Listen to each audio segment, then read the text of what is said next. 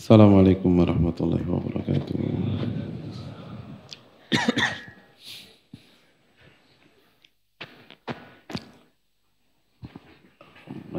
Alhamdulillah hamdan kathiran tayyiban mubarakan fi kama yuhibbu rabbuna wa yarda. Wassalatu wassalamu ala nabina Muhammad wa ala alihi wa man sara ala nahjihi bi ihsanin ila yaumiddin wa ba'd Hadirin yang dirahmati oleh Allah Subhanahu wa taala, tidak ada kata yang pantas untuk kita ucapkan kecuali bersyukur kepada Allah atas segala nikmat dan karunia yang Allah berikan dan Allah limpahkan kepada kita. Salawat dan salam semoga senantiasa tercurahkan kepada junjungan kita Nabi kita Muhammadin Sallallahu Alaihi Wasallam beserta para keluarga, para sahabat dan orang-orang yang istiqomah berjalan di bawah naungan sunnah beliau sampai hari kiamat kelak. Hadirin yang dirahmati oleh Allah Subhanahu wa taala. Sekali lagi kita bersyukur kepada Allah yang telah memberikan taufik kepada kita sehingga kita bisa duduk kembali bersimpuh di hadapan ilmu-ilmu Allah Subhanahu wa taala. Di hadapan Al-Qur'anul Karim dan sunnah-sunnah Nabi sallallahu alaihi wasallam dalam rangka meningkatkan iman kita. Karena Allah berfirman Innamal mu'minuna alladhina idza dzukirallahu wajilat qulubuhum wa idza tuliyat alaihim ayatuhu zadatuhum imana.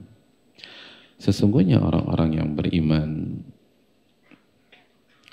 apabila apabila disebutkan nama-nama Allah hati mereka bergetar dan apabila dibacakan ayat-ayatnya maka iman mereka pun bertambah. Iman mereka bertambah. Jadi kalau ayat-ayat Allah lagi dikaji, ngobrol kira-kira orang beriman bukan hadirin. Allah bilang jika dibacakan ayat-ayatnya maka imannya bertambah bukan ngobrol, bukan sibuk sendiri, apalagi tidur. Karena itu nggak cocok. Makanya ayat ini pakai innama, ada watul hasar atau kasar. Jadi yang punya sifat seperti ini ya hanya orang beriman. Jadi nggak ada ceritanya tuh dan yang rugi dia sendiri. Karena begitu dia nggak fokus dan tidak bertambah imannya di kajian seperti ini, maka detik itu juga kualitas imannya dipertanyakan. Jadi harusnya bingung, sedih, kenapa ya kok tadi itu gue kasihkan ngobrol nih. Karena itu menunjukkan bahwa ada sesuatu dalam imannya. Karena kalau orang-orang beriman dibacakan ayat-ayat Allah, imannya bertambah. Maka bersyukurlah kepada Allah ketika kita memiliki hal dan rasa seperti itu. Hadirin yang dirahmati oleh Allah Subhanahu wa taala, kita masih bersama Al-Imam Ibnu Jamaah di akhir-akhir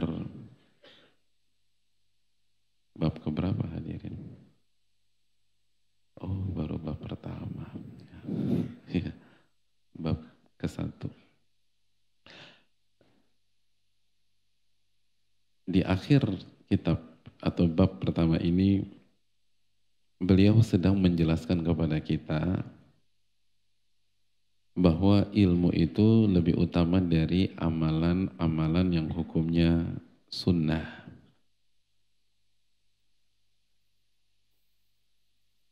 Karena mungkin banyak di antara kita yang masih belum paham dan bingung, kok bisa? Nah beliau menjelaskan kenapa tuh bisa. Dan ada enam sisi, enam faktor. Mari kita simak pembacaannya. Tafadhal Ustaz. Dari waqat dhahara bima qulna.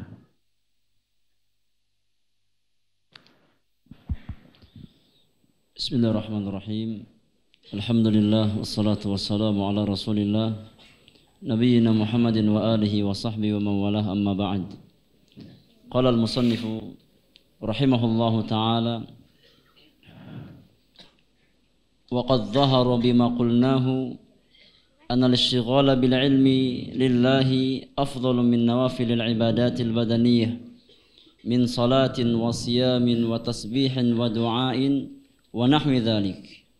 وذلك لأن نفع العلم يعم صاحبه والناس والنوافل البدنية مقصورة على صاحبها.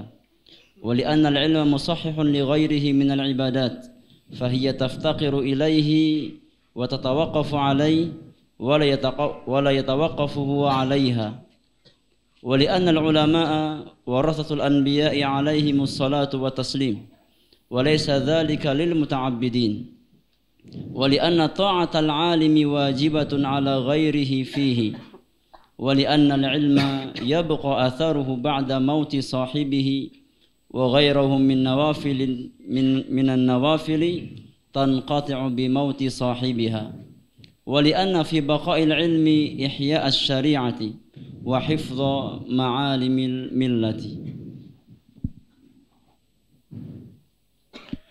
Ya jazakallah khair Ustaz Barakallahu fikum. Hadirin yang dirahmati oleh Allah Subhanahu wa taala.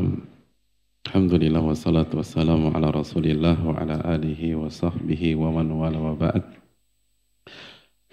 Ternyata ada enam faktor yang dijelaskan oleh para ulama kita yang diwakilkan oleh Al-Imam Ibnu Jamaah dalam kitab ini. Faktor yang pertama dan ini sudah kita bahas pada pertemuan yang lalu di anna naf'al ilmi ya ummu sahibahu wan nas. Karena manfaat ilmu itu untuk yang punya ilmu dan manusia secara umum. Berbeda dengan amalan-amalan yang hukumnya sunnah. Secara umum hanya berkaitan dengan yang ngerjain saja. Gitu loh. antum sholat duha, teman antum di samping antum duduk mingkem bengong, kira-kira ada dapat pahala nggak? Nggak dapat, nggak dapat pahala sholat duha antum. Yang dapat pahala antum aja yang mengerjakan sholat duha. Tapi ilmu itu nggak demikian hadirin. Ketika kita ajarkan, kita dapat pahala, dia dapat pahala lalu dia ajarkan lagi ke temannya, ke anaknya, ke istrinya, ke suaminya, terus demikian. Padahal ilmunya cuma satu, misalnya hadis innamal amalu bin niat. Tapi itu ke mana-mana, ke mana-mana. Makanya bisa jadi apa yang dikatakan oleh uh, oleh Abu Dhar dan Abu Hurairah lebih afdol daripada seribu rakaat. Ya kalau yang dengar seribu orang, terus diamalin, terus yang seribu itu masukin ke grup WA keluarga, lalu isi grup WK berapa totalnya? 200 berapa? 250 gitu loh. Dan 250 itu punya grup WA lagi, grup alumni 250 lagi, dan setiap alumni punya keluarga lagi 250. Nah itu berapa pahala antum tuh? Besar hadirin. Makanya walaupun seribu rokat itu tidak ada dalam lisan Nabi SAW, tapi benar bisa tuh. Itu ilmu hadirin. Jadi rugi orang yang nggak terjun di dunia ini itu rugi besar. Karena manfaatnya ke mana-mana. Itu yang pertama udah kita bahas. Yang kedua, wali annal ilma musahihun li ghairihi minal ibadat. Karena ilmu itu yang akan meluruskan ibadah-ibadah, mengatur ibadah-ibadah, atau kalau pakai bahasa antum sekarang, ilmu itu guidance-nya ibadah. Sebagai petunjuk. Kita mau sholat, gimana nggak punya ilmu? Maka kita dengar hadis sallu kama ra'aitumuni usolli. Salatlah sebagaimana kalian melihat aku salat. Baik secara langsung yaitu para sahabat maupun melalui hadis-hadis Nabi Shallallahu alaihi wasallam. Dari situlah kita ngerti gimana ruku, gimana sujud, gimana turun ke sujud dan seterusnya. Jadi ilmu itu yang menjadi imamnya amal yang meluruskan kalau ada amalan yang keliru. Makanya Imam Bukhari mengatakan al-ilmu qabla al-qawli wal amal ilmu dulu sebelum berbicara dan beramal. Jadi semuanya diluruskan.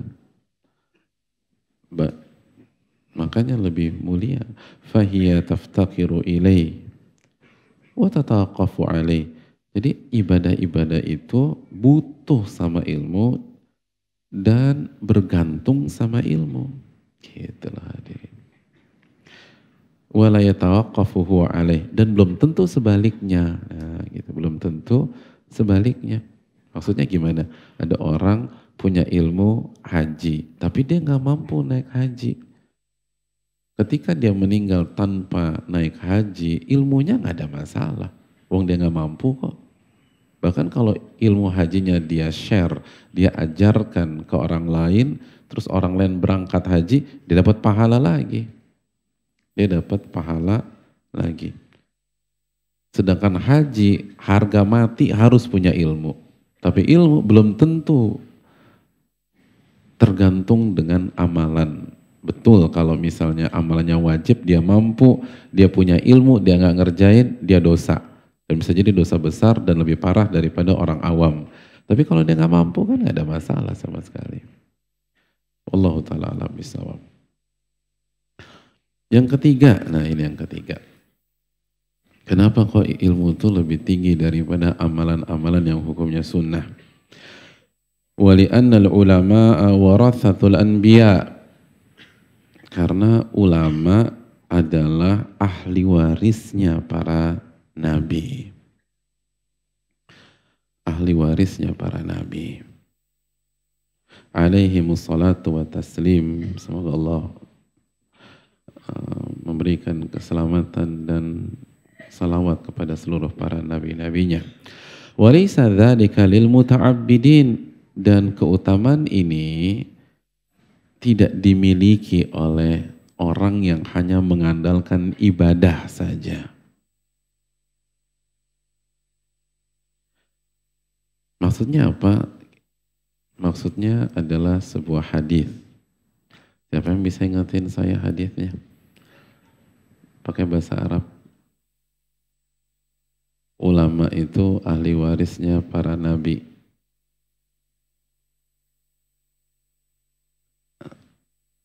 Kenapa sih antum kebiasaan kalau siapa bisa ngintan langsung lihat kanan, nengok kiri? Kenapa gerakan pertama nengok gitu loh. Harusnya kan gerakan pertama nunjuk gitu. Kan pertanyaan siapa? Nah, udah kita bahas nih hadirin. Nah ini nih. Ini kita udah lama nggak ujian masalahnya nih. Kayaknya wajah-wajah kangen semua di sini nih. Ini pentingnya ujian. Lupa tuh ilmu yang sebelumnya. Ustadz, yang lalu biarlah berlalu.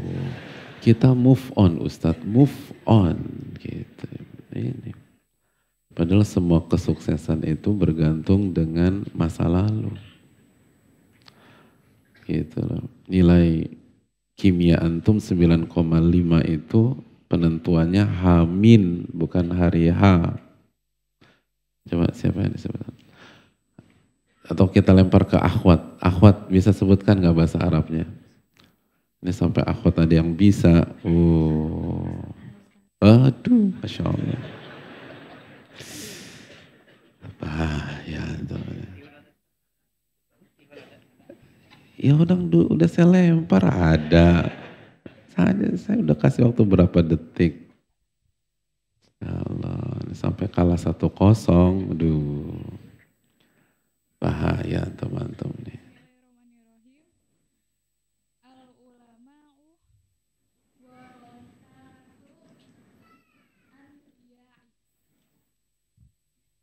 Terus? Ulama adalah ahli waris para nabi. Lanjut. Nomor 2600. Masya Allah, sudah hafal nomor hadis. Luar biasa. Terus kelanjutannya apa? Enggak, kelanjutan redaksinya.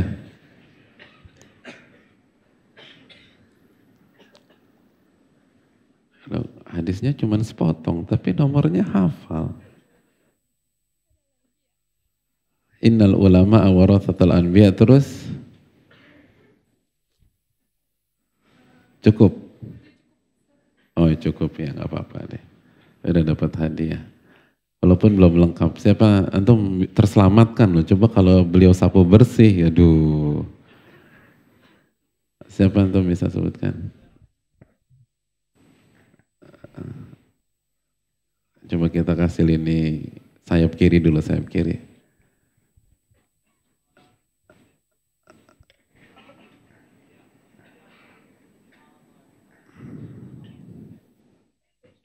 Hah? Loh kok di itu kan antum naik mobil kecepatan 80 tiba-tiba ngerem mendadak. Kok berhenti? Hah? Lanjut. Lanjut. Emang udah? La. Coba ulang innal ula. Terus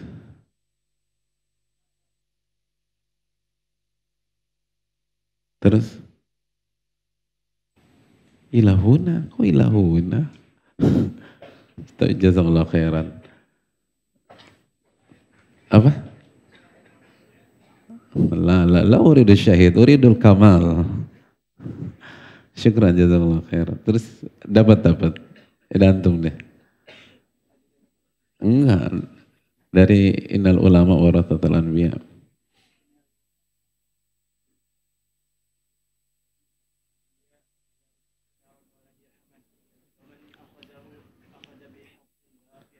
Iya jazakallah khairan. Atau menyelamatkan muka ribuan laki-laki yang ada di sini. Jazakallah khairan. Terima Mana itunya? Udah. Ya, syukuran. Iya hadirin yang dirahmati Allah. Innal ulama warathatul anbiya. Para ulama itu ahli warisnya para nabi. Tadi aku dikasih juga ya buat beliau tadi ya. Wa innal anbiya lam yuwarrithu dinaran wala dirhama. Dan para nabi itu nggak mewarisi dinar dan dirham. Wa innama warathul ilma. Namun yang mereka wariskan adalah ilmu hadirin. Ilmu. Faman akhadahu. Barang siapa mendapatkan ilmunya para nabi itu. Akhadah. Akhadah bihadzin wafir. Dia telah mendapatkan warisan yang sangat banyak. Itulah hadirin warisan yang sangat banyak. Gitu. Ini warisan. Ini yang membedakan ahli ilmu dengan ahli ibadah semata. Pewaris hadirin. Pewaris tuh nggak sembarangan. Antum punya hubungan persahabatan dengan teman SMA dan sekarang usia persahabatan antum 30 tahun lamanya. Begitu dia meninggal, antum jadi ahli warisnya enggak? Enggak. Persahabatan 30 tahun enggak cukup untuk jadi ahli waris seseorang. Hanya orang-orang yang benar-benar dekat dan disatukan dengan darah pada dasarnya. Atau pernikahan.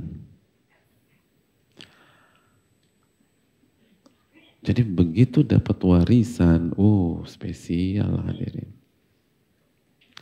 Dan ini yang harus kita tanamkan, tanamkan dalam diri kita. Nggak boleh lupa. Tanamkan. Jadi begitu mau datang ke kajian, gue mau dapat warisan. Gitu hadirin.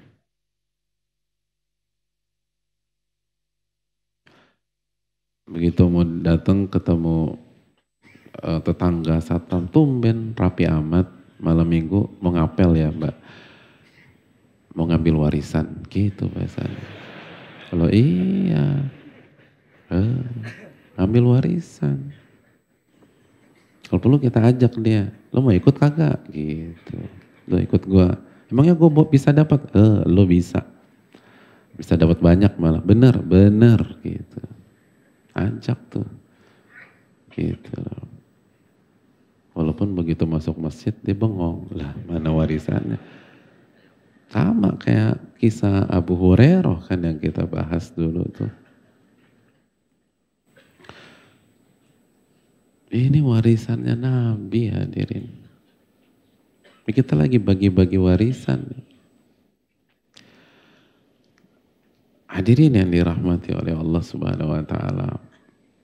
Kan semakin tinggi kedudukan seseorang, semakin menarik warisannya semakin besar warisannya.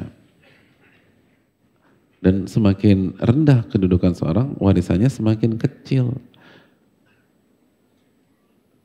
Jadi ini yang perlu kita camkan. Makanya kadang-kadang tuh agak heran orang yang gak tertarik datang ke kajian. Ya sederhana aja deh, orang paling kaya di Jakarta meninggal minggu lalu malam ini antum diundang untuk bagi-bagi warisannya. Kira-kira datang nggak? Datang hadirin. Lu nggak ikut kajian mau dapat warisan gitu. Lupa kajian lupa tuh hadirin. Orang paling kaya di Jakarta. Nah kalau kenapa? Karena otak masyarakat tuh, oh orang paling kaya di Jakarta pasti warisannya banyak Nah masa Nabi kalah dengan orang paling kaya di Jakarta? Masa Nabi Shallallahu Alaihi Wasallam bisa kalah dengan warisannya orang-orang kaya? Gak mungkin hadirin, gak mungkin. Warisan beliau adalah warisan terbaik, termahal, termewah. Dan ini rizki yang sejati hadirin. Kan orang bilang, oh dia asik banget ya, emang kalau udah rizki itu nggak perlu kerja, dapatnya dari warisan babenya gitu loh. Emang kalau udah rizki itu ya, orang nggak nggak usah kerja capek-capek, putus sekolah, terus kelas 2 SMA nggak naik dua kali, kelas 3 nggak naik empat kali, kaya deh sekarang, rizkinya emang tuh gitu. Rizkinya dari bapaknya, Nah, jadi kan banyak orang tuh identik warisan dengan rizki. Warisan dengan rizki.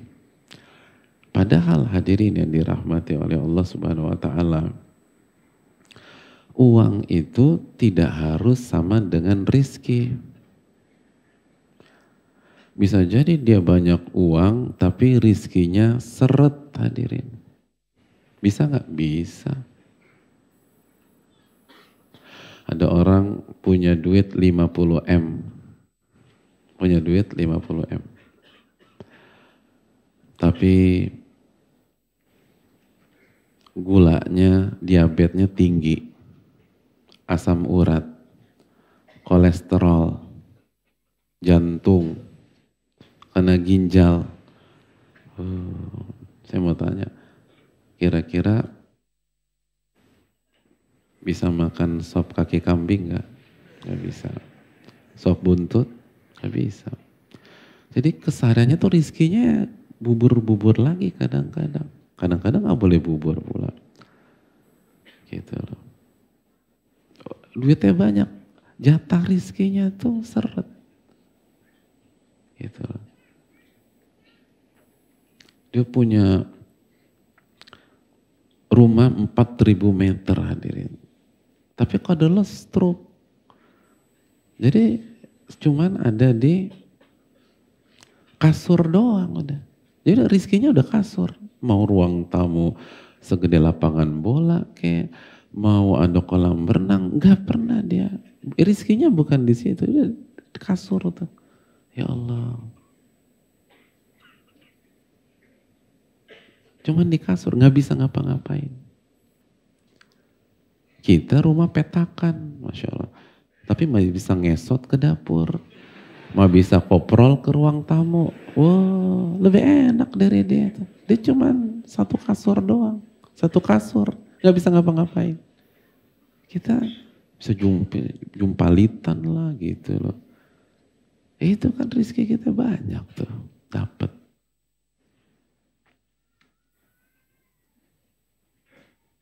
Dan rizki yang paling besar itu bukan materi. Apa kata Allah dalam surat At-Talaq ayat 11? Allah berfirman, وَمَنْ yu'min بِاللَّهِ dan barang siapa yang beriman kepada Allah. وَيَعْمَلْ صَالِحًا dan beramal soleh. Iman beramal soleh itu butuh ilmu hadirin. Yudakhilhu جَنَّاتٍ تَجْرِي مِنْ تَحْتِهَا anhar khalidina fiha abada mengalir di dalamnya sungai-sungai. Dan mereka kekal di dalamnya. Apa penutup ayat ini? Qad ahsanallahu lahu rizqa. Itu, itu rizki terbaik. Allah telah memberikan rizki terbaik buat dia. Rizki terbaik itu iman, amal soleh. Karena hanya iman dan amal soleh yang akan mengantarkan Anda ke dalam surga. Dan itu rizki terbaik. Dan itulah warisannya para nabi dan rasul. Itu. Memang bukan duit, Kenapa sih bukan duit aja Pak Ustadz di kajian? Karena duit bukan rizki terbaik. Bukan. Rizki terbaik itu iman dan amal soleh. Karena ini warisan manusia terbaik di dunia. Pasti warisannya yang terbaik juga. Nggak mungkin, nggak mungkin lah hadirin sekalian pakai yang receh tuh nggak mungkin. Ini rizki yang terbaik. Oleh karena itu hadirin yang dirahmati oleh Allah Subhanahu wa taala ini yang perlu kita camkan. Kalau ingin mendapatkan warisan terbaik nah, kita harus punya ilmu lalu ilmu itu melahirkan iman dan amal soleh bukan hanya sebagai wawasan bukan hanya sebagai retorika. Harus bermanfaat dalam kehidupan kita. Gitu tuh. Makanya para ulama ketika tahu rizki terbaik itu warisannya para nabi dan rasul, mereka siap menggelontorkan dana yang gak sedikit untuk menuntut ilmu agama. Menuntut ilmu agama.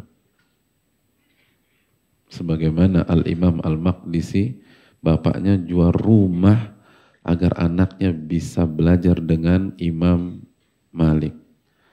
Jadi Al-Imam Al-Maqdisi untuk bisa duduk di hadapan Imam Malik itu bapaknya jual rumah hadirin. Ya Allah. Kita mungkin belum sampai jual rumah. Yang datang kajian modalnya jual motor siapa? Ada.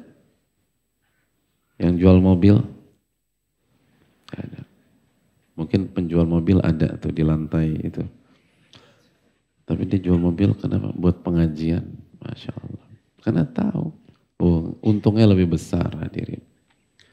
untungnya lebih besar. Nggak hitung-hitungan. Nah, hadirin yang dirahmati oleh Allah Subhanahu wa taala, maka sekali lagi kalau ada yang tanya kita mau ngapain, jawabannya apa tadi? Ya, mau mau dapat warisan dan ajak dia gitu, suruh dapat warisan bareng. Dan harus diyakini, bukan hanya jadi joke aja, ini warisannya Nabi nih. Gitu Warisannya Nabi dan Rasul. Ini yang paling berharga. Nah, tambahan, ketika ilmu adalah warisan para nabi, maka ilmu kita silsilah dan mata rantainya itu harus sampai ke Rasul Shallallahu Alaihi Wasallam. Nggak boleh, bukan nggak boleh, artinya bukan sebatas pemikiran pemateri. Bukan sebatas hasil perenungan atau pemikiran saja. Ya simpel aja deh antum punya dua tabungan, punya dua rekening. Rekening pertama isinya 3M. Itu kerja keras selama ini. Selama lima tahun kerja keras bisnis 5M. Tabungan yang kedua isinya 1M. Karena kemarin la Allah misalnya ayah meninggal, lalu antum dapat 1 M langsung masuk tabungan ini. Nah, pertanyaannya yang menjadi warisan yang 3 M apa yang 1 M? Hah? Hadirin. Yang jadi warisan tuh, warisan dari warisan 3 M apa 1 M? Hah? 3 M. Susah ya pertanyaan saya. Ya Allah. Beban hidup antum berat ya hadirin. Ini kan gampang pertanyaannya. Satu M apa tiga M? Satu M. Tiga M-nya disebut dinamakan warisan? Enggak. Kenapa? Karena itu hasil usaha antum sendiri. Nah gitu. Jadi apabila ada orang yang apa namanya yang disampaikan atau yang digoreskan dengan pena hasil pemikiran dia sendiri atau kalau itu nukil dari manusia nggak nyambung ke Nabi Shallallahu Alaihi Wasallam maka itu bukan ilmu hadirin. Bukan ilmu. Karena ilmu itu warisan Namanya warisan harus nyambung ke Nabi. Jadi makanya kan para ulama samulana rijalakum kata para ulama. Eh sebutin tuh siapa mata rantai siapa saja yang menjadi mata rantai ilmu Anda sampai ke Nabi Shallallahu Alaihi Wasallam. Sebutin. Karena namanya ilmu itu warisan. Warisan tuh yang namanya warisan bukan hasil pemikiran, bukan hasil usaha dalam tanda kutip, usaha pribadi. Itu khas dikasih dari atas. Gitu. Makanya hadirin sekalian pentingnya kita ngaji kitab para ulama agar jelas ini bukan pemikiran kita pribadi. Ini adalah penjelasan para ulama lalu yang mereka dapatkan dari guru mereka, dari guru mereka terus sampai Nabi Shallallahu Alaihi Wasallam begitu. Karena ilmu yang akan merubah kehidupan dunia akhirat kita adalah ilmu yang merupakan warisan para nabi dan rasul. Itu poinnya kita lanjutkan wassalamualaikum warahmatullahi wabarakatuh.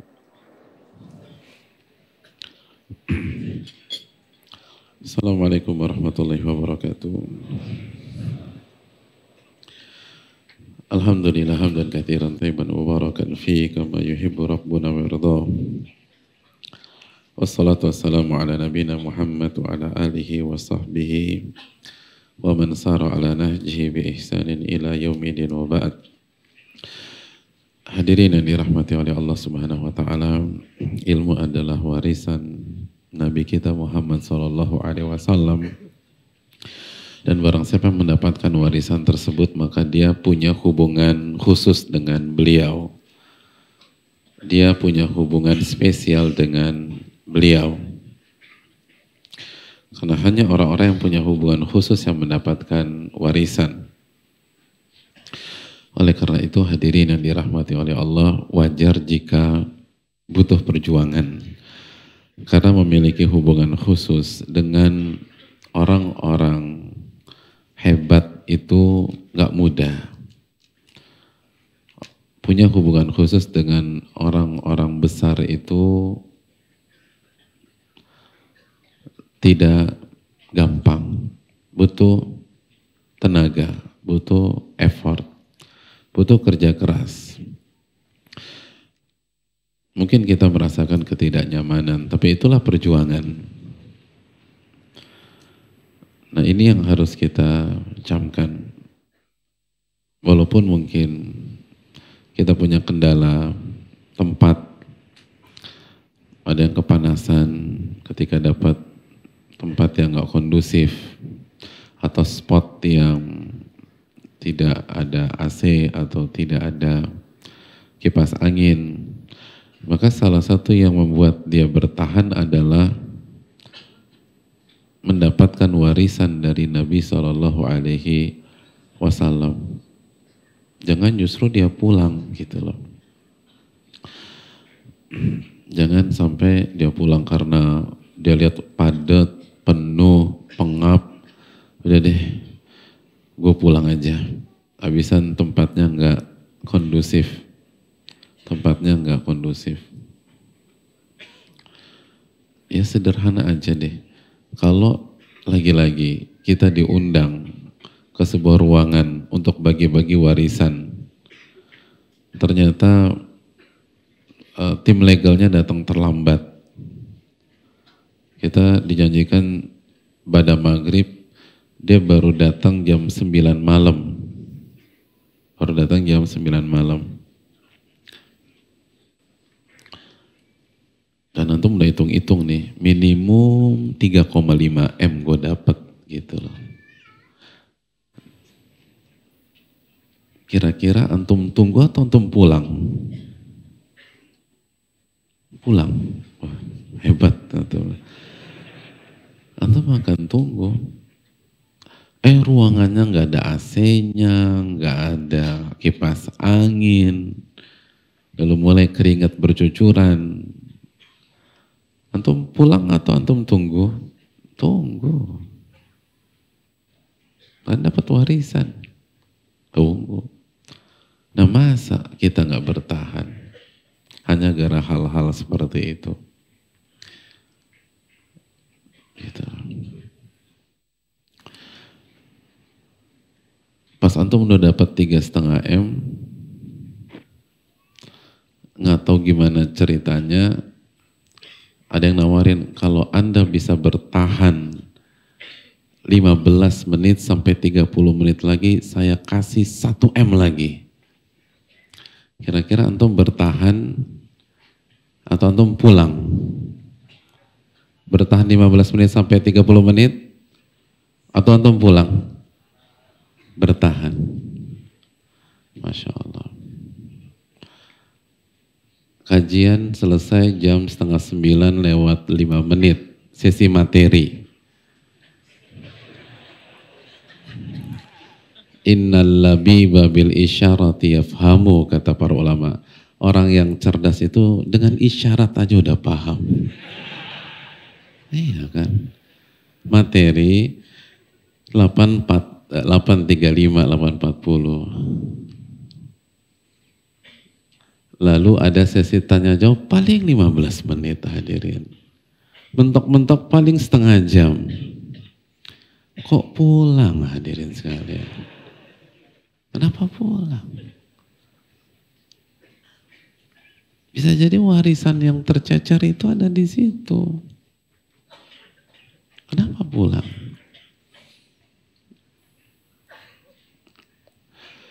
Hadirin kan salah satu penyesalannya ahli neraka itu apa? Dalam surat wa qalu law kunna nasma'u aw na'qilu ma kunna fi ashabis sa'ir. Ayat berapa?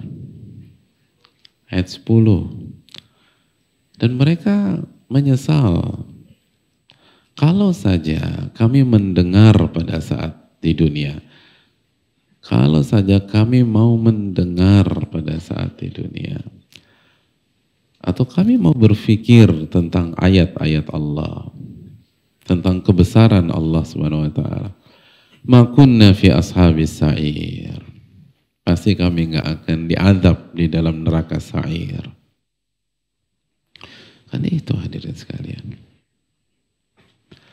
Kalau saja dulu aja gue mau denger tuh penjelasan, mau datang ke kajian. Kalau dulu aja nggak cepet-cepet pulang, kan gitu.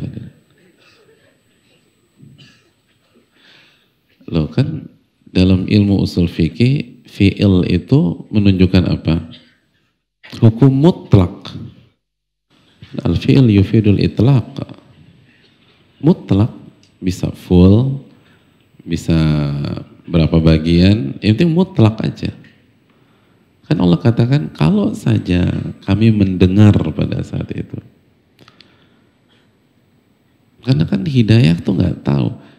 Ibnu Mubarak aja nyatet terus hadirin. Walaupun udah jadi imam, ketika ditanya kenapa engkau tetap nyatet? Karena bisa jadi hadis atau ilmu yang menyelamatkan aku ke dalam surga belum aku catat. Itu imam ulama besar. Kenapa kita nggak terapkan konsep itu? Bisa jadi yang ilmu yang benar-benar ngeresep itu pasti sesi tanya jawab kita nggak tahu. Maka safety player hadirin. Kalau dalam dunia bisa safety player, kenapa buat kajian nggak bisa? Kenapa sebagian pihak pengen cepat-cepat pulang? Atau begitu penuh sedikit, ramai sedikit, deh kita pulang aja. Loh enggak. Tungguin. Paling enggak kita, tapi susah dengarnya, paling enggak dapat satu ayat. Paling siapa tahu dapat satu faidah. Bisa jadi dapat satu ilmu yang benar-benar berguna di dunia dan di akhirat. Dan sekali lagi, Nggak mungkin warisan Nabi itu gampangan tuh nggak mungkin hadirin. Nggak mungkin dapat warisan Nabi dan punya hubungan khusus dengan Nabi itu mudah. Makanya hadirin, Nabi itu deket banget dengan semua umatnya, dengan semua sahabat. Tapi ya, antum melihat, nggak semua sahabat jadi ring satunya Nabi Shallallahu Gak semua sahabat itu beliau terima agar bisa deket banget dengan beliau. Hanya Abu Bakar As-Siddiq radhiyallahu taala Hanya nama-nama besar seperti Umar bin Khattab radhiyallahu taala Uthman bin Affan dan beberapa sahabat. Gak semua sahabat yang diajak berangkat bareng ketika hijrah Nabi SAW. Nabi minta para sahabat hijrah, silakan hijrah. Tapi yang beliau pilih untuk menemani beliau ketika hijrah hanya Abu Bakar hadirin. Hanya Abu Bakar. Kenapa? Di antaranya effortnya Abu Bakar paling luar biasa. Bahkan dari semua orang hanya Abu Bakar yang berani kasih semua hartanya untuk Nabi kita Sallallahu Alaihi Wasallam.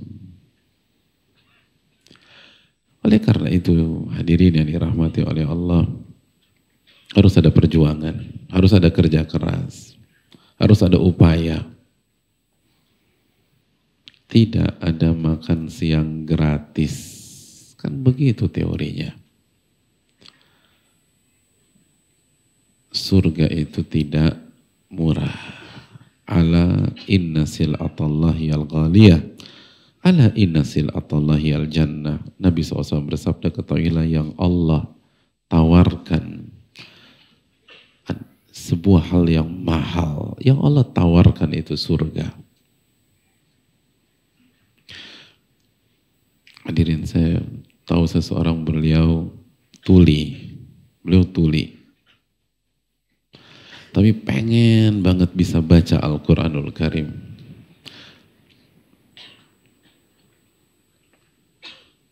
Tapi keterbatasan beliau dalam mendengar itu nggak menghalangi beliau tidak menghalangi beliau. Apa yang beliau lakukan? Itu beliau datengin rumah guru beliau subuh untuk belajar Al-Quran. Subuh. Subuh. Dan dalam waktu yang cukup singkat beliau bisa membaca dengan segala keterbatasan beliau pas saya apa namanya dengar cerita itu dari guru beliau dan beliau juga ada di situ dan gurunya juga tuli hadir masya Allah gurunya itu ngajarin tuli juga itu saya langsung ingat seorang ulama yang sempat kita bahas di sini juga ada yang ingat nggak imam siapa hmm, ahli nahu Imam siapa? Hah? Hah? Bukan si Bawi. Hah? Kutrub. Imam Kutrub.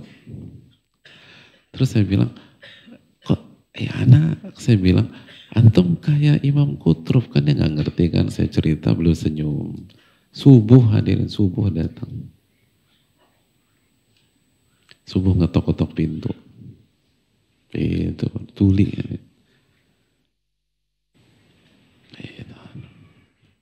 Itu warisan. Jadi kalau pada maghrib, pada isya, nggak ada apa-apanya. Ini subuh. Dan dengan segala keterbatasan. Dan orang-orang kayak begitu banyak, cuman kita nggak tahu. Makanya kita belum ada apa-apanya nih hadirin sekalian. Dan lebih aneh lagi kalau ada yang sombong dengan segala effort yang penuh kekurangan terus apa yang mau disombongin. Oh susah loh belajar Quran tuh dalam kondisi tuli itu nggak gampang. Itu butuh dua, tiga, mungkin empat, lima kali lipat daripada upaya antum. Gitu loh. Jadi kalau waktunya sebelum maghrib mah enak banget tuh. Kan di sini setiap sebelum maghrib kan, wah rugi kalau kita nggak datang tuh. Karena banyak saudara-saudara kita nggak bisa belajar. Nggak seberuntung kita. Mungkin ada di Jabotabek, tapi nggak seberuntung kita. Dia nggak bisa dengar. Yang nggak, yang bisa ngajarin beliau hanya orang-orang tertentu. Subuh didatengin. Subuh. Fastabikul khairat hadirin sekalian. Fastabikul khairat. Berlomba-lomba di atas kebajikan. Karena mendapatkan warisan Nabi itu tidak mudah. Tidak mudah. Apalagi warisan yang bernama ilmu yang bermanfaat. Ilmu yang berkah. Maka butuh perjuangan. Itu yang ketiga. Yang keempat, hadirin sekalian. Apa alasannya?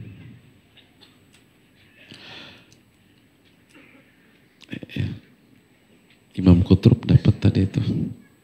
Zafran. Udah dikasih. Zafran. Ya, syukuran. Alasan yang keempat kata Imam Ibnu Jamaah. Ah, situ jawab. Atau lebih dari satu? Ya udah dikasih dua dua dua. Satu lagi di situ. Beliau.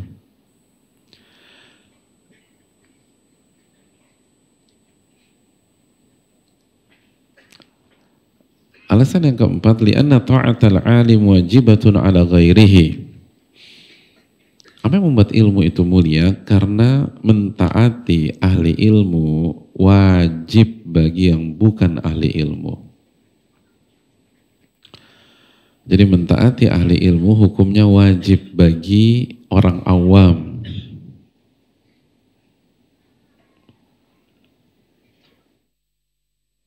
Hukumnya wajib hadirin. Bukan saya yang bicara, ini ulama yang bicara. Kita hanya membacakan ucapan Al-Imam Ibnu Jamaah. Dan kita tahu arti wajib itu apa sih? Jika dikerjakan dengan ikhlas, pahala.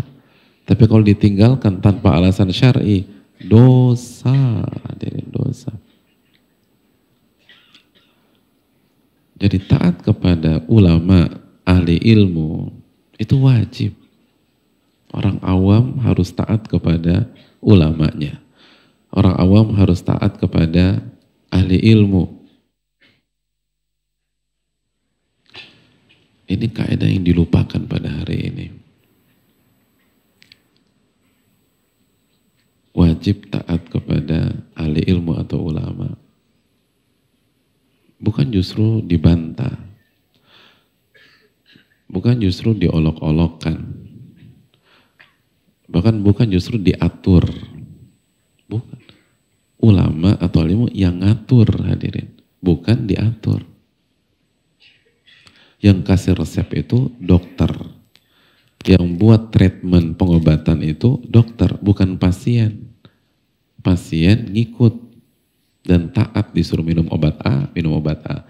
Disuruh dosisnya 10 hari, 10 hari, jangan dihabisin dua hari. Dia keracunan tuh nanti. Nah sama. Orang awam wajib taat. Lihat bahasanya tajam. Wajib taat kepada ahli ilmu.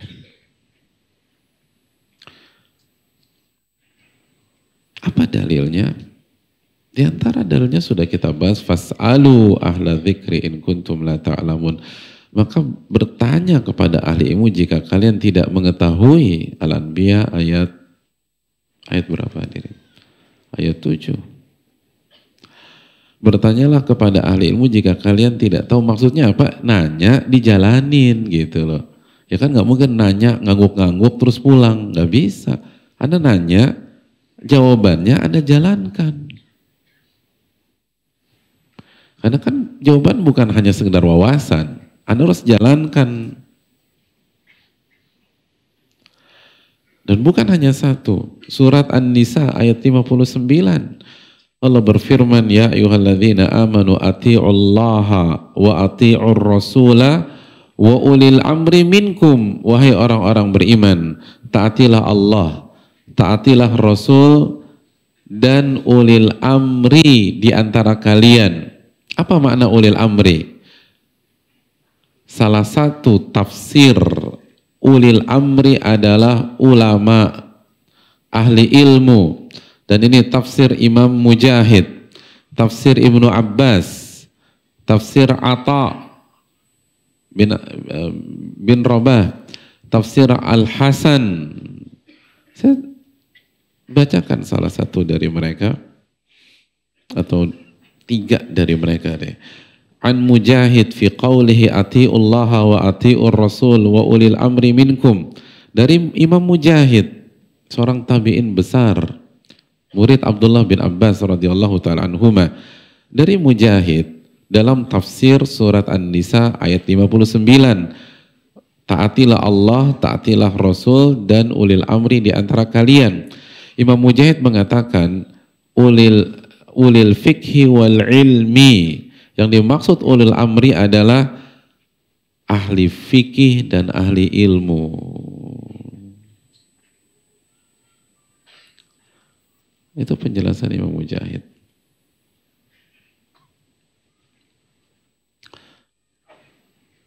Abdullah bin Abbas menjelaskan apa kata al-Imam Abdullah bin Abbas ahlil fikhi atau ahlal fikhi wad din. Ahlal fikhi wad din. Yang dimaksud ulil amri adalah ahli fikih dan agama. Apa penjelasan Atta bin Abi Rabah? Yang dimaksud ulil amri adalah al-fuqaha wal ulama. Para pakar fikih dan ulama. Apa penjelasan Abul Aliyah? Ulil amri minkum adalah ahli ilmu. Bukankah Anda melihat bahwa Allah Subhanahu wa taala berfirman di dalam ayat yang lain surat An-Nisa ayat 83 jadi Abu Aliyah mengaitkan An-Nisa 59 dengan An-Nisa 83. Jadi Abu Aliyah mengatakan yang dimaksud ulil amri itu adalah ahli ilmu. Tidakkah Anda melihat Allah berfirman di dalam An-Nisa ayat 83 walau radduhu ila rasul wa ilal ulil amri minhum la'alimahu alladhina istanbitunahu minhum kalau saja, ini ayat tentang munafik hadirin. Orang-orang munafik itu kalau dengar hal-hal yang berkaitan dengan stabilitas keamanan, itu langsung disebarkan, langsung di-share, langsung dibisi.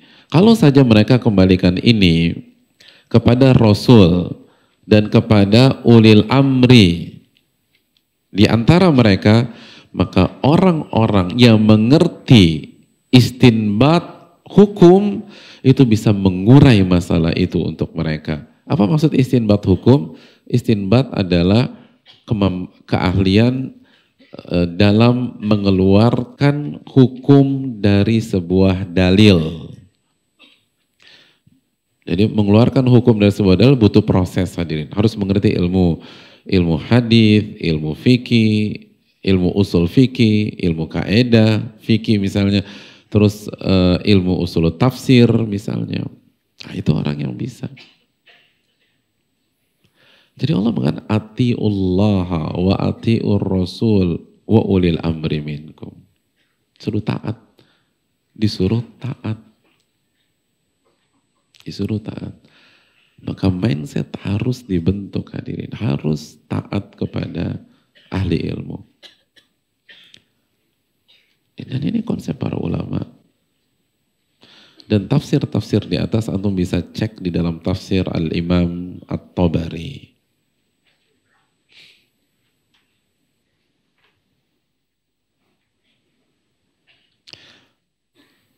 Hadirin yang dirahmati oleh Allah Subhanahu wa taala. Jadi sebagai orang awam kita taat kepada keterangan ahli ilmu. Jangan dibantah, jangan dijawab, apalagi dijatuhkan. Apalagi sok tahu. Lalu dengan mudah menyalahkan mereka. Padahal baca satu buku fikih aja nggak ada yang tamat. Orang awam harus taat kepada ahli ilmu. Dan ini dalilnya, ini keterangannya. Dan ini yang membuat ilmu itu lebih tinggi daripada ahli ibadah karena nggak ada keterangan kita harus taat kepada ahli ibadah. Ahli ibadah luar biasa. Tapi nggak ada keterangan harus taat kepada ahli ibadah. Tapi ahli ilmu Allah wa atiur rasul wa ulil amri minkum. Hadirin yang dirahmati oleh Allah. Tapi apakah secara mutlak? Itu pertanyaan besarnya. Apakah taat kepada ulama seperti taat kepada Rasul Sallallahu Alaihi Wasallam? Jawabannya terdapat dalam hadis Nabi Sallallahu Alaihi Wasallam dalam beberapa riwayat, di antaranya riwayat Al Imam Al Bukhari, la ta'ata fil ma'siyah, innama ta'atu fil ma'ruf. Tidak ada ketaatan dalam bermaksiat tidak ada ketaatan. Jika menyelisihi dalil, tidak ada ketaatan apabila bertentangan dengan perintah Allah Subhanahu wa ada bertentangan dengan dalil. karena ketaatan dalam hal-hal yang selaras dengan dalil. Ini yang membedakan apabila taat kepada Allah, taat kepada Rasul, maka secara mutlak. Adapun taat kepada ulil amri, baik itu uh, yang dimaksud penguasa atau ulama, maka harus secara secara garis yang dijelaskan Nabi Shallallahu Alaihi Wasallam. Artinya orang awam wajib taat kepada ulama atau kepada ahli ilmu kecuali jika terbukti arahan seorang ahli ilmu atau fatwa seorang ahli ilmu atau sikap seorang ahli ilmu berseberangan dengan dalil berseberangan dengan perintah dan larangan Allah pada saat itu ya anda tidak wajib taat. Tapi kalau tidak ada buktinya, bahkan selaras Anda harus taat. Nggak bisa kita bantah hanya dengan nafsu kita. Bantah dengan logika kita. Kok gini sih ulama A ini? Atau kok gini sih Ustadz ini? Anda punya dalil yang menjelaskan bahwa dia salah? Kalau Anda nggak punya itu, kewajiban taat kepada ulama atau ahli ilmu.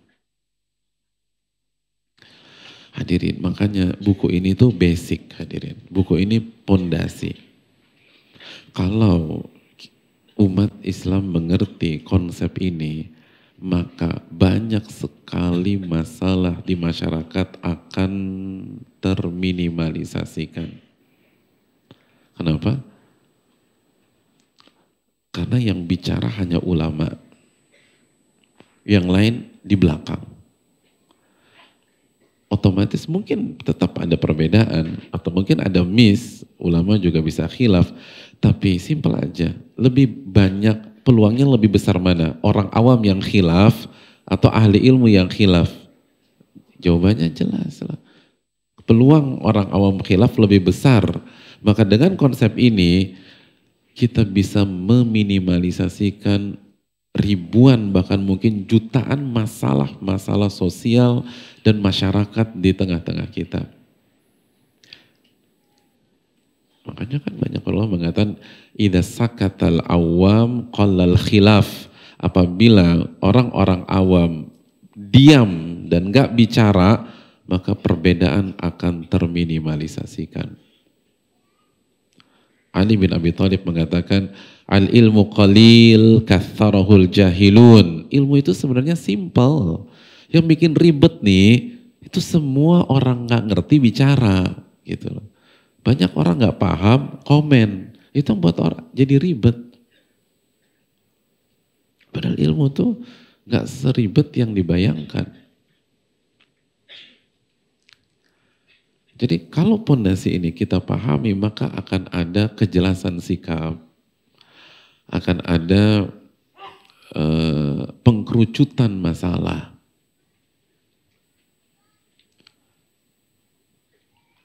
Apalagi kalau benar-benar ulama, per, kalau ulama benar-benar itu jadi ulama yang benar-benar ulama ya, itu kan tertata, ngerti kaidah, ngerti dalil, ngerti akhlak, ngerti bagaimana cara bersikap. Kalaupun per, mereka terjadi perbedaan dan seterusnya lebih enak daripada orang awam yang nggak ngerti kaidah, yang nggak ngerti akhlak, yang nggak pernah tamat buku fikih. Itu akan jadi masalah besar. Jadi mentaatinya wajib kecuali jika Anda bisa buktikan atau terbukti bahwa ini maksiat. Kalau Anda nggak bisa buktikan, maka tidak di uh, tidak diperbolehkan untuk menyelisihi mereka. Hadirin yang dirahmati oleh Allah Subhanahu wa taala. Oleh karena itu, seperti Syekh Ali Hasan hafizahullah ta'ala mengatakan, orang awam itu tugasnya, ijtihadnya mencari ulama yang benar-benar ulama. Mencari ahli ilmu yang benar-benar ahli ilmu. Itu istihadnya orang awam. Jadi cek pastikan dia ahli ilmu atau bukan.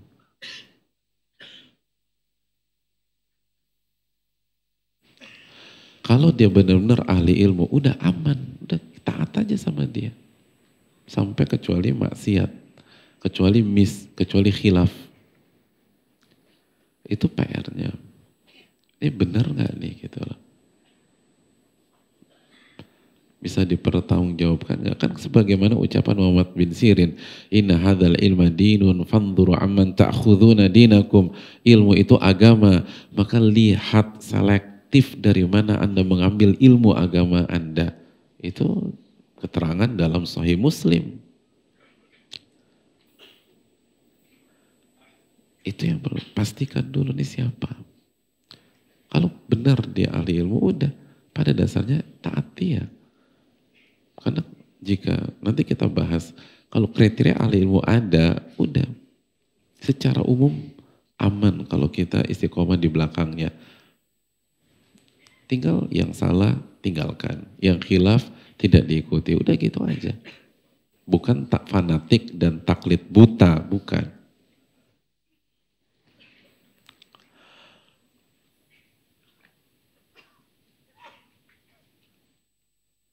Dan kalau terjadi perbedaan, pastikan yang semua pendapat adalah pendapat para ulama, itu harus didudukan. Dan pendapat itu tidak bertentangan dengan dalil yang sorih. Udah aman deh.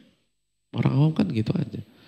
Jadi pertama pastikan yang berpendapat ulama, benar-benar ulama, ahli ijtihad, yang punya perangkat beristihad, ahlinya punya kemampuan beristihad dan itu istihad dia. Lalu yang kedua, istihadnya tidak bertentangan dengan uh, dalil yang tegas dan jelas. Karena kalau da, kalau dalilnya uh, bukan kriteria seperti itu, maka itu masuk ke dalam khilaf ijtihadiyah. Dan mungkin ada waktunya kita bahas itu panjang lebar. Tapi poinnya demikian, pastikan siapa ulamanya, dia punya kemampuan beristihad apa tidak. Lalu yang kedua, apa yang disampaikan tidak bertentangan dengan dalil yang tegas dan jelas. Jadi dia nggak punya dalil dan dia tidak bertentangan dengan dalil yang tegas dan jelas. Tapi kalau dia punya dalil, tapi dalilnya berbeda dengan dalil pendapat ulama lain dan sama-sama kuat, maka itu khilaf ijtihadiyah dan Al-Imam Ibnul Qayyim dalam kitab I'lamul Muwaqqi'in dan Al-Imam uh, Syekhul Islam Ibn Taimiyah dalam Majmu' Fatawa mereka mengatakan la inkar fi mas'alatin ijtihadiyah. Tidak ada pengingkaran dalam masalah-masalah khilaf ijtihadiyah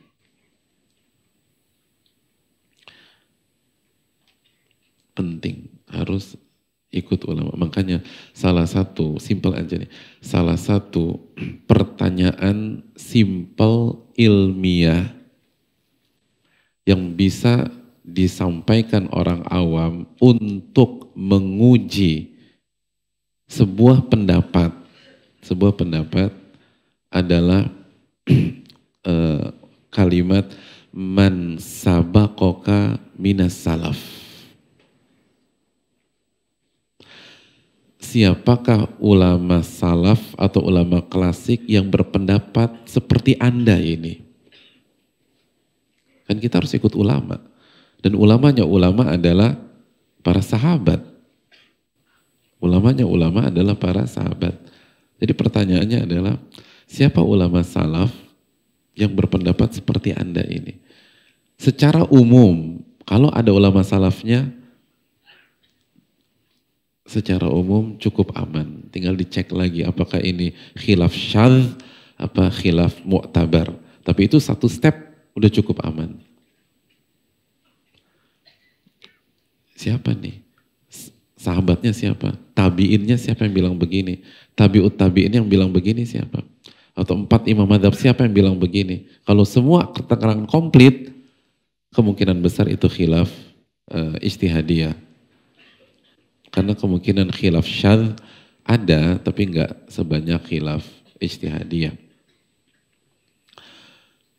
Jadi itu hal yang diajarkan oleh misalnya Al-Imam Al-Bani rahimahullah, diajarkan oleh Al-Imam Muhammad bin Saleh Uthaymin, lalu itu juga disampaikan Al-Imam Ahmad bin Abdul Halim, tanya man sabaqaka minas salaf. Siapa ulama salaf yang mengatakan itu? Siapa pendahulu Anda yang mengatakan demikian? Karena kita nggak mungkin lebih baik dari mereka. Kita nggak mungkin lebih alim dari Abu Bakar. Kita nggak mungkin lebih alim daripada Imam Syafi'i. Kita nggak mungkin lebih alim daripada Sa'id bin Musayyib. Kita nggak mungkin lebih alim daripada Imam Mujahid. Kita nggak mungkin lebih alim daripada Imam Malik. Siapa yang dari antara mereka mengatakan demikian? Siapa salaf Anda? Wallahu ta'ala alam bisawab. Uh, saya rasa cukup ya materi. Semoga bermanfaat. Wassalamualaikum warahmatullahi wabarakatuh.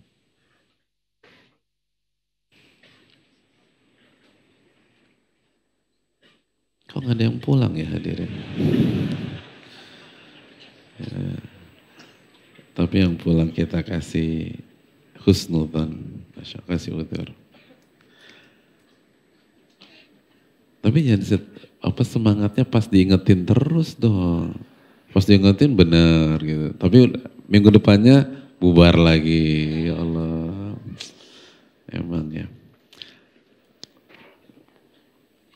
Harus pelan-pelan lah.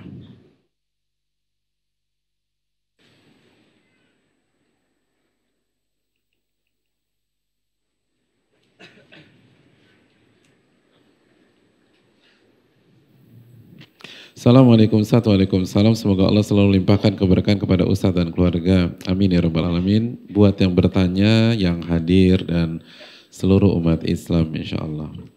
Saya merasakan ketenangan duduk di majelis ini pada saat pertama kali ikut sekitar setahun yang lalu. Namun saya masih sesekali berbuat maksiat sehingga ketenangan duduk di majelis ini menjadi kurang. Apakah Allah sudah mencabut rahmatnya kepada saya? Jazakallah khairan. Terima kasih jazakallah khairan atas pertanyaannya.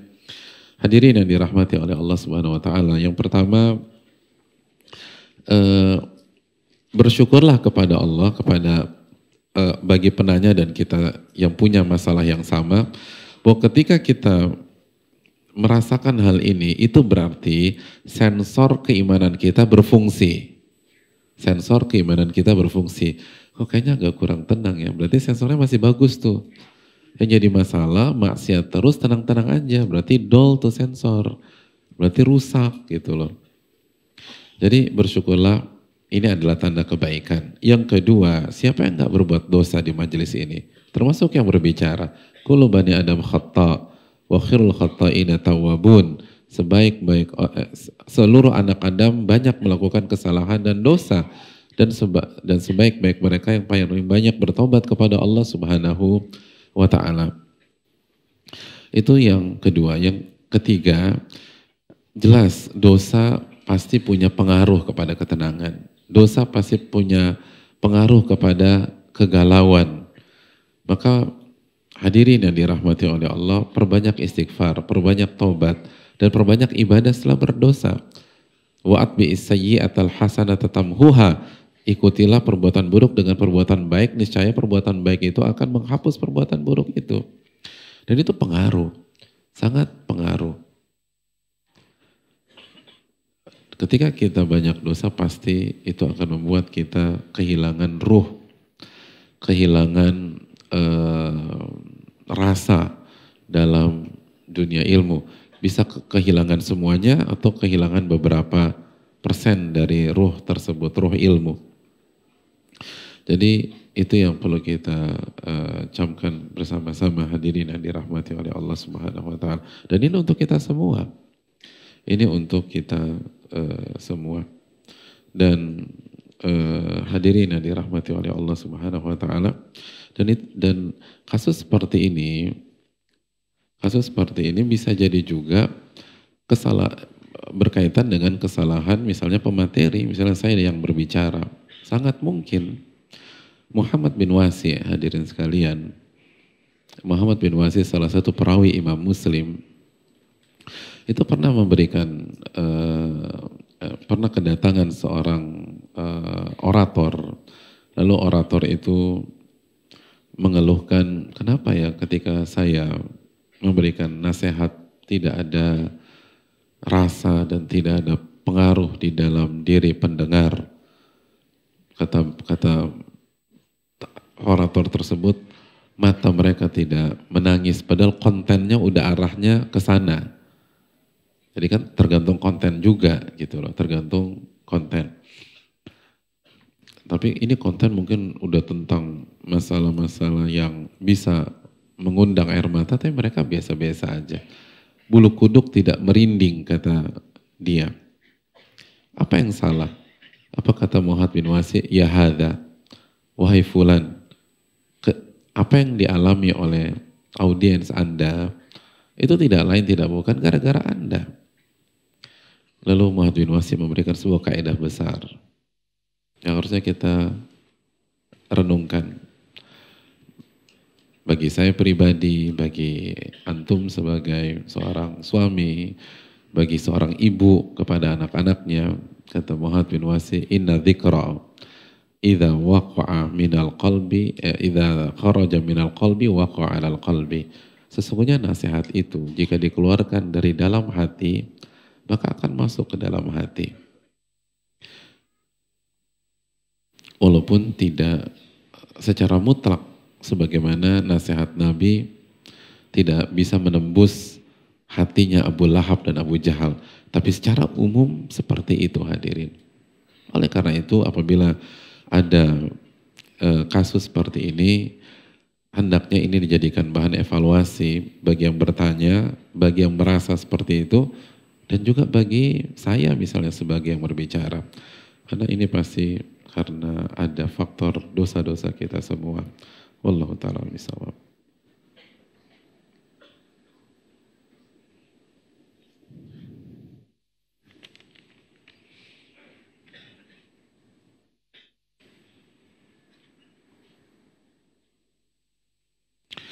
Assalamualaikum warahmatullahi wabarakatuh. Waalaikumsalam warahmatullahi wabarakatuh. Afan Ustadz mau menanyakan tentang pernyataan Ustadz kemarin kalau bertanya itu ibadah dan bisa mendapat pahala. Bukankah Bani Israel itu dicela karena banyak bertanya sebagaimana surat Al-Baqarah dan lain-lain? Bagaimana menggabungkan dan memahami masalah ini Ustadz? Lalu mau uh, menanyakan bagaimana jika kita lupa atau ragu-ragu dalam sholat, namun bukan jumlah rakaat tetapi lupa sujud sudah dua kali atau masih satu kali. Apakah juga harus sujud sahwi Ustadz? Jazakallah khairan. Ya terima kasih atas pertanyaannya. Yang pertama, uh, ulama mengklasifikasikan bertanya itu menjadi dua. Pertanyaan yang uh, positif dan pertanyaan yang negatif. Yang positif adalah mencari kebenaran. Pertanyaan mencari kebenaran. Dan kalau mencari kebenaran untuk menghilangkan kebodohan dalam diri kita atau dalam diri orang lain, maka itu disunahkan, itu ibadah, dan itu konsep para sahabat. Abdullah bin Abbas itu pernah ditanya, Anda kok bisa punya ilmu luas begitu? Apa kata Abdullah bin Abbas? Bilisanin Saul, wakal bin Akul. Saya dengan taufik Allah punya ilmu sebanyak ini, itu kuncinya ada dua. Yang pertama, lisan yang banyak bertanya dan akal Eh, dan hati yang banyak berpikir, lisan yang banyak bertanya. Dan kita sepakat, Abdullah bin Mas bukan Bani Israel. Kenapa Bani Israel dipermasalahkan? Ya tuh baca Al-Baqarah gitu loh. Bertanyanya bukan cari kebenaran. Bertanyanya bertanya untuk ngeles, untuk ngulur-ngulur Kan mereka disuruh sembelih sapi, udah sembelih aja. Nanya warna pula, nanya ukuran gitu loh. Udah sembelih sembelih aja. Antum misalnya disuruh sembelih e, waktu kurban, udah sembelih aja. Kriteria yang ada dalam hadis udah amalin. Gak usah nanya lagi berapa ukuran lingkar pinggang tuh kambing, terus pahanya gimana, nggak usah ditanya terus. Gak perlu ditanya. Itu nanya ngeles, nanya cari-cari eh, cari-cari celah, itu yang tercela. atau bertanya untuk menyerang uh, ahli ilmunya atau pematerinya. Jadi diserang untuk mempermalukan atau untuk show off. Ada sebagian orang bertanya untuk pamer. Misalnya, maksudnya gimana? Ya misalnya ada orang nanya gini, Ustadz, uh, saya mau bertanya, apa hukumnya sholat, uh, sholat, sholat wajib berjamaah bagi laki-laki? Karena kita tahu terjadi khilaf para ulama di dalam dunia fikih. Madhab Hanabilah mewajibkan sebagaimana firman Allah warka'u ma'ar raki'in dan Al-Imam Syafi'i punya dua kaul Ustadz ada yang fardu kifayah dan mengatakan sunnah muakkadah. Lalu uh, madhab Zohiriyah Ibnu Hazm Abu da eh, Daud Al-Zohiri itu mengatakan syarat sah solat. Dia mau buat kajian apa mau nanya sih? Jadi buat apa show off begitu? Simple aja. Apa hukum sholat berjamaah? Titik selesai. Apa yang dia pamer begitu? Itu kan buang-buang waktu. Jadi dan ada orang demikian. Itu yang tercela. Adapun orang yang mencari kebenaran maka masuk ke dalam firman Allah fas'alu ahla dzikri in kuntum la ta'lamun bertanyalah kepada ahli ilmu jika Anda enggak mengetahui maka bertanya ibadah menjalankan perintah Allah definisi ibadah kan menjalankan perintah sebagaimana tafsir al-Imam Mujahid dalam Ad-Dhariyat ayat 56. Jadi terlepas dijawab apa nggak dijawab. Jadi ah gue udah inilah gue udah bete, gue udah hopeless lah pertanyaan gue dari kajian pertama tuh tahun lalu nggak pernah dibahas, dia nggak pernah dijawab-jawab juga. Loh kan Allah lihat, Allah lihat. Oh ini orang nanya, kode Allah belum dijawab. Berarti uh, dapat pahala gitu loh jadi tanya gitu loh. Makanya sesi sesi tanya jawab itu penting karena ini ibadah juga. Kita nanya itu ibadah. Allah taala alam. Adapun yang kedua ketika kita lupa sujud dua kali atau masih satu kali yang pertama eh, apa pun itu ya kalau ragu ini dua atau satu atau rokaat dua atau satu maka pilih yang paling rendah. Selalu pilih yang angka paling kecil. Jadi kalau ragu sujud dua apa satu ya, berarti satu udah. Berarti satu. Jadi kalau rokaat aja pilih yang paling kecil, apalagi bagian dari sebuah rokaat, pilih angka paling kecil. Pilih angka paling kecil. Jadi kalau ragu jumlah rokaat uh, dua atau satu, kita pilih apa? Satu. Kalau uh, apa tiga atau dua pilih apa? Dua. Kalau ini rokat keberapa ya? Empat atau satu kelewatan hadirin. Bisa empat atau satu itu loh. Gimana sih? Ya Allah ini rokat keempat atau rokat pertama. Itu kan kelewatan subhanallah. Antum jawab lagi satu gitu loh. Ya. Jadi itu. Dan apakah harus sujud? Iya sujud sahwi. Sujud sahwi jelas. Allah Ta'ala bisa.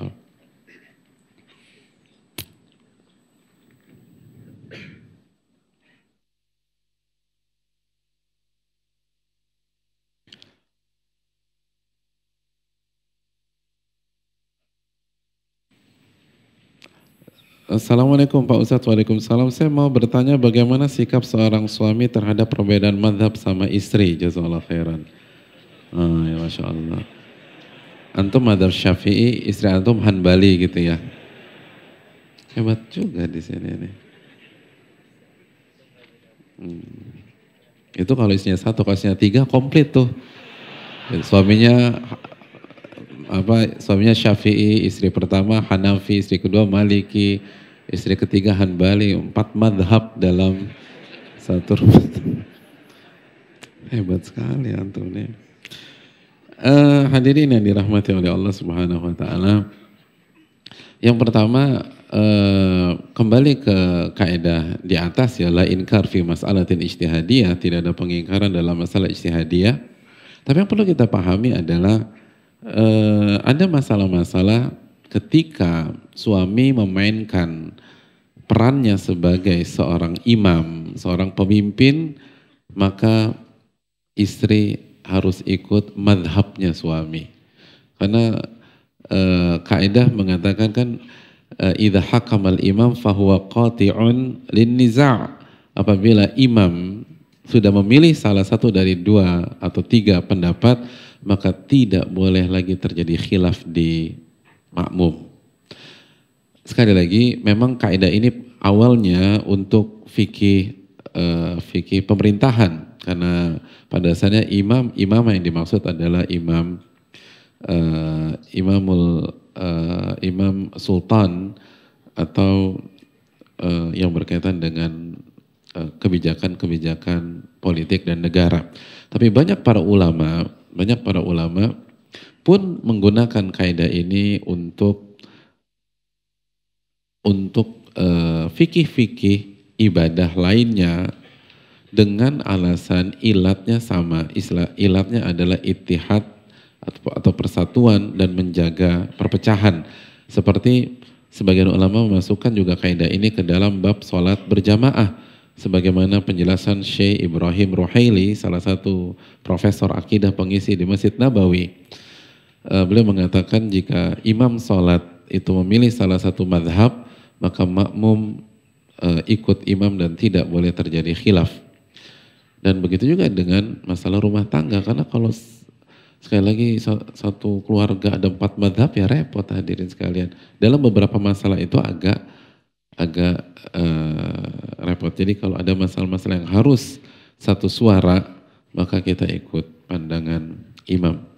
Dan di antara dalil adalah uh, hadis ketika Abdullah bin Mas'ud itu tidak setuju dengan konsep sholat sempurnanya Uthman bin Affan ketika safar. Jadi Uthman bin Affan kalau safar itu sholat empat rakaat, tidak dikosor. Lalu Abdullah bin Mas'ud mengatakan, saya sholat bareng Nabi SAW. Saya sholat bareng Abu Bakar. Saya sholat bareng Umar. Semuanya mengkosor. Kok bisa Uthman tidak mengkosor? Bahkan dalam riwayat itu Abdullah bin Mas'ud mengatakan inna lillahi wa inna ilahi rajiun. Kan dapat kabar. Uthman tuh nggak Uthman tuh nggak mengkosor, tetap sholat empat rakaat di zuhur, asar, isya. Beliau katakan inna lillahi wa inna ilahi rajiun. Tapi menariknya ketika Abdullah bin Mas'ud sholat bersama Uthman bin Affan di Mina kalau nggak salah waktu itu ya. Maka beliau ikut sholatnya Uthman sampai selesai. Jadi kan beliau bermahadab kosor, harus kosor, Nabi kosor kok. Tapi begitu Uthman sholat empat rakaat, Abdullah bin Mas'ud pun juga ikut sholat empat rakaat. Ketika jadi makmumnya siapa?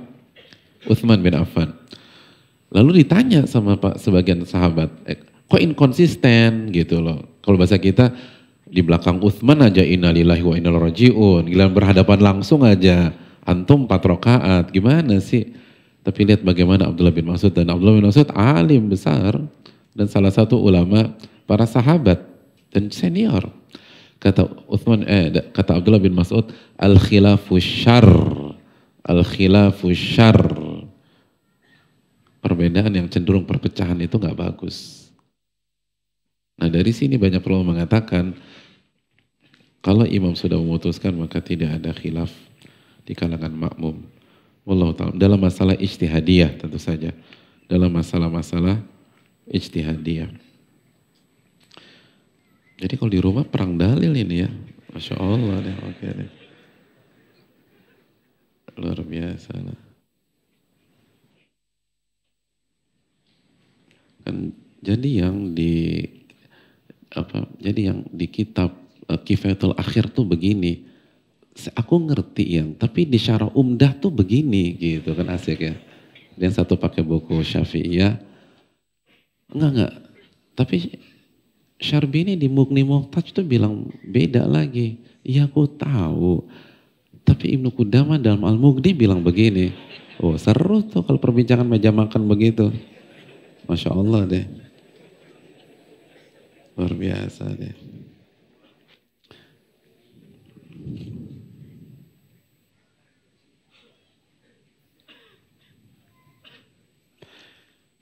Assalamualaikum warahmatullahi wabarakatuh. Waalaikumsalam warahmatullahi wabarakatuh. Semoga Ustaz dan seluruh kaum muslimin di mana pun berada senantiasa dilindungi dengan Allah. Amin ya rabbal alamin. Seiring dengan semangat yang tinggi untuk memperoleh saf pertama saat sholat, terkadang membuat saf pertama tersebut sesak dan sulit untuk menyempurnakan gerakan sholat. Bagaimana pendapat Ustaz Jazakallah khairan? Ya, terima kasih atas pertanyaannya.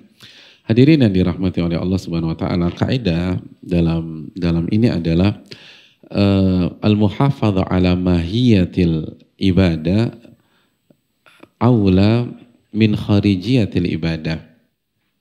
Menjaga uh, apa ya?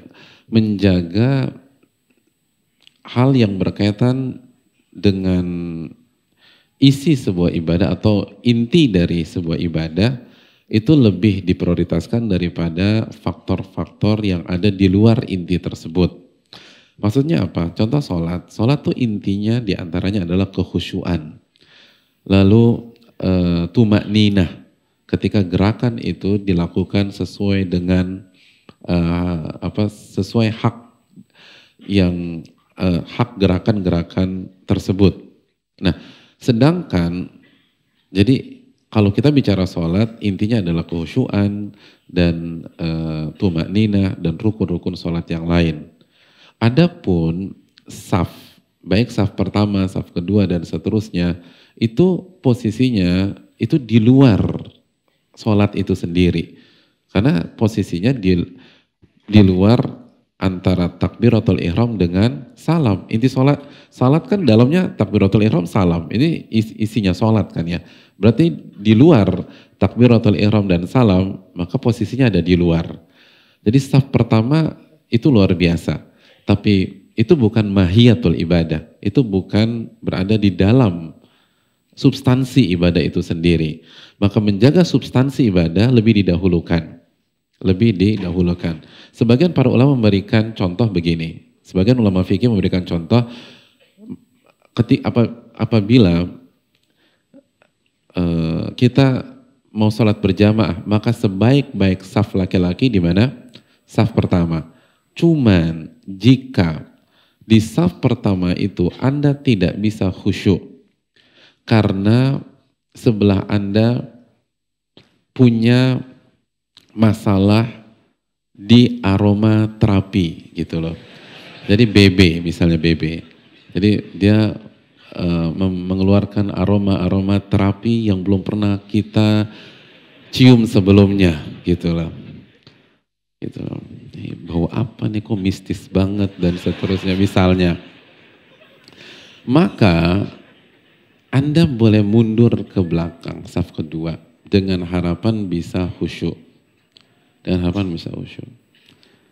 Dan itu dan itu penting ya, masalah BB ini penting hadirin. Karena kan Nabi SAW nggak memperbolehkan seseorang yang makan bawang masuk ke ke masjid gitu loh. Dan hadis sahih riwayat Imam Bukhari karena menjaga uh, apa menjaga kehusuan orang sholat dan saudara-saudara kita yang lain itu penting. Nah itu mundur ke saf kedua nggak masalah. Walaupun saf kedua nggak seafdol saf pertama dia miss di di apa di tataran luar tapi mendapatkan inti dari ibadah itu yaitu kehusuan. Nah sama, kalau memang antum uh, saf pertama penuh nggak jangan antum maksain. Akhirnya sampai nggak bisa nggak bisa duduk di antara dua sujud sujudnya juga nungging nungging nah lebih baik uh, mundur di saf kedua. Kalau telah bisa jadi itu poinnya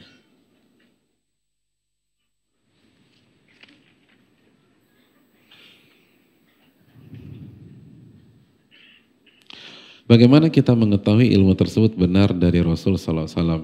Ya terima kasih jazakallah khair atas pertanyaannya. Yang pertama, caranya perbanyak doa dulu gitu loh, minta petunjuk dari Allah. Sebelum kajian tuh angkat tangan minta ya Allah gitu, jangan sampai saya salah alamat, tunjukilah saya majelis yang benar. Dan nanti kita akan bahas di poinnya. Ada pembahasannya dalam Tadkiratus Sami. Itu yang pertama. Yang kedua, yang kedua, orang awam pada dasarnya tidak punya perangkat dan referensi untuk menilai benar atau salah. Karena untuk menilai bahwa ilmu itu benar dari Nabi, contohnya kita butuh ilmu tentang mustalah hadis.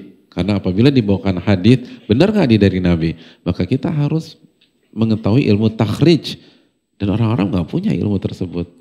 Terus paling enggak atau orang awam butuh referensi. Orang awam butuh referensi. Orang awam butuh referensi. Karena kalau tidak ada referensi dan tidak punya perangkat, nggak punya ilmu usul fikih, nggak punya ilmu hadith, nggak punya ilmu tafsir, lalu gimana dia bisa nilai? Nggak mungkin bisa. Tidak mungkin bisa. Nggak, tapi uh, ustadznya bukan hadith, emangnya anda sudah double cross check itu benar? Kan nggak juga. Tidak juga diri yang dirahmati oleh Allah. Contoh misalnya saya uh, ada yang mengatakan um, innaka lan tas'an nas bi amwalik atau innakum lan tas'un nas bi amwalikum. Kalian nggak bisa membeli atau meluluhkan hati manusia dengan harta kalian. Lalu ustadznya bilang hadis riwayat Abu Ya'la.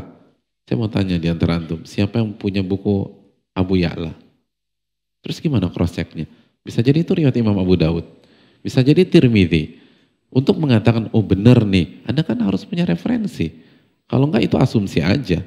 Wong Anda juga enggak cek kok. Kita kita enggak cek. Ada ustadz bilang, eh, ahabbul a'mali ilallah anfa'uhum linnas. Eh, ahabbun nasi ilallah aha, uh, anfa'uhum linnas di antara manusia yang paling Allah cintai, yang paling bermanfaat bagi manusia. Hadis riwayat Imam Tabrani. Pertanyaan saya, siapa di antara antum yang punya buku hadis Tabrani?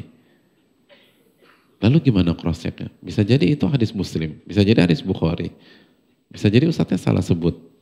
Jadi untuk mengetahui validitas kita butuh referensi, atau kita harus butuh perangkat. Kalau nggak punya itu nggak bisa kita uh, pastikan dengan dengan benar. Oleh karena itu hadirin yang dirahmati oleh Allah Subhanahu wa taala langkah yang harus kita lakukan setelah berdoa yang pertama pastikan guru kita punya kapasitas. Itu dulu. Karena kita nggak bisa double cross check apa yang dikatakannya. Itu yang jadi masalah. Sama kayak antum pergi ke dokter antum bisa double cross check referensi awal. Kan nggak bisa. Maka per, apa namanya penekanan pertama jangan salah pilih dokter. Itu poinnya. Karena anda nggak bisa orang awam nggak bisa melakukan cross check ke referensi kedokteran kalau dokter itu salah. Kalau dokter itu salah. Wong kadang-kadang hal-hal yang sangat sederhana bisa salah kok. Ada tadi saya ketemu dengan seseorang, beliau cerita temennya uh, kecelakaan, terus ronsen, lalu ada foto, lalu tanya ke seorang dokter, kata dokternya, foto paru-paru kan, kata dokternya TBC, dikasih obat diminum. Tapi masih nggak ada perubahan, masih sesek sakit. Second opinion ke dokter kedua, dikasih foto yang sama, kata dokternya, Pak ini mah bukan TBC, ini patah tulang gitu katanya. Itu, itu baca simple bisa salah. Jadi dan dan pasien nggak bisa nggak bisa apa nggak bisa menilai bahwa vonis pertama itu salah kecuali kembali ke pakar yang lain. Jadi jangan sampai salah pilih guru itu poinnya. Silakan belajar dengan guru mana pun, tapi pastikan guru kita punya kapasitas guru kita punya kapasitas. Itu penting hadirin yang dirahmati oleh Allah Subhanahu wa taala. Sebagaimana kalau kita ke dokter saja, kita nggak akan ngasal. Emangnya antum masuk setiap antum masuk dan konsul kepada setiap orang yang pakai jas putih? Kan enggak. Jangan sampai masalah antum di lambung, antum konsul sama dokter gigi, kan masalah. Pasti kan, ini dokter mana? Tapi kan kalau dalam uh, dalam dunia uh, kajian hal itu kadangkala tidak berlaku. Silakan belajar dengan guru mana pun asal beliau punya kapasitas. Beliau berada di jalan yang lurus sebagaimana keterangan uh, Muhammad bin Sirin di atas atau Ibnu Umar khudh anil ladzina istaqamu wa la ta'khudh anil ladzina malu. Ambil dari yang uh, istiqomah dan jangan ambil dari yang menyimpang. Dan ini sabda Nabi yang dikeluarkan al-Imam Ibnu Mubarak. Beliau mengatakan min asyrati sa'ah an yultamasal ilmu indal asagir di antara tanda hari kiamat ilmu itu diambil dari orang-orang kecil. Jadi di antara tanda hari kiamat ilmu itu diambil dari orang-orang kecil. Oh berarti jadi ustadz harus gemuk ya Pak? Enggak, bukan. Orang kecil itu ada dua tafsir hadirin sekalian. Tafsir yang pertama dijelaskan oleh Imam Ibn Mubarak maksudnya ahlul bid'ah. Ahli bid'ah atau orang yang menyimpang. Walaupun tentu saja memfonis orang itu tidak mudah. Sebagaimana keterangan Al-Imam Ahmad, ikhrajun nas anis sunnah syadid, atau mengeluarkan orang dari al-sunnah itu tidak tidak mudah, itu berat, itu perkara yang harus diserahkan kepada pakar dan ahlinya. Tapi itu yang pertama. Yang kedua, dijelaskan juga oleh Imam Ibn Abdul Bar dalam Jami' Bayanil Ilmi uh, Jami' Bayanil Ilmi Fadli maksud orang kecil itu orangnya nggak menyimpang, tapi nggak punya kapasitas. Orangnya nggak menyimpang tapi tidak punya kapasitas. Jadi, oh berarti dia sesat? Dia nggak sesat. Tapi kan nggak semua orang bisa ngajar agama. Nggak semua orang bisa jadi guru misalnya. Nggak semua orang bisa jadi ustadz. Walaupun niatnya baik. Sebagaimana ketika orang tergila-gila dengan ilmu kedokteran, bukan berarti besok buka praktek. Kan nggak bisa, dia harus belajar dulu. Sebagaimana nggak semua orang yang suka banget sama mesin, besok buka bengkel, bisa berantakan. Langsung buka uh, apa namanya uh, spanduknya turun mesin. Ya benar diturunin, tapi setelah itu ditinggal gitu loh. Nggak bisa diapa-apain, turun dia tuh mesin. Allah ta'ala alam. Jadi itu poin. Terus yang berikutnya, setelah guru, usahakan kita punya majelis dengan kitab. Karena kitab itu, itu eh, semakin ngejaga, semakin memastikan bahwa ini original, ini bukan dari pemikiran semata, karena ada referensinya. Uh, apalagi kalau kitabnya kitab-kitab klasik, kitab rekomendasi para ulama gitu loh maka semakin tenang kita. Oh ya benar. Dan kalau ada kekeliruan atau kesalahan, kitab itu ngebantu gitu loh. Dan terbukti kan di majelis ini saya pernah salah dalam uh, apa namanya uh, menerjemahkan terus dikasih masukan oleh Ustadz Al Fadil, Ustadz Cecep Hafizahullah, terus juga cek di apa di buku terjemahannya memang apa memang keliru gitu loh. Jadi kan Hal-hal demikian semakin membuat kita terjaga. Adapun kalau kita hanya dengar atau kita hanya berpindah dari majelis ke satu majelis tanpa kitab, maka kita nggak bisa apa nggak bisa kuat dalam uh, menjaga itu. Jadi kitab itu penting. Allah taala bisa. Walaupun mungkin butuh bertahap. Ya saya rasa cukup sampai di sini. Makasih banyak ya Allah khairan. Semoga ilmu yang kita dapatkan bermanfaat. Dan pas kita pulang jamaah sekalian minta kepada Allah agar Allah menerima amal ibadah kita. Rabbana taqabbal minna innaka antas samiul alim. Ya Allah terimalah amal ibadah kita ini. Sesungguhnya engkau maha mendengar dan maha mengetahui. Subhanakallahumma ilaha illa anta astaghfiruka. Assalamualaikum warahmatullahi wabarakatuh.